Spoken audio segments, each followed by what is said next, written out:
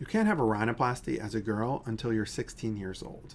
The reason is the nose continues to grow until the age of 16 in a girl and 18 in a boy.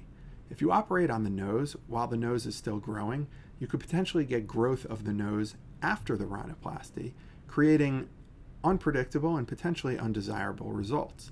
The other concern is if you operate on the nose or the surrounding face prior to the time when it's finished growing, you might affect the growth of the nose and the surrounding face, also leading to unpredictable and potentially undesirable results.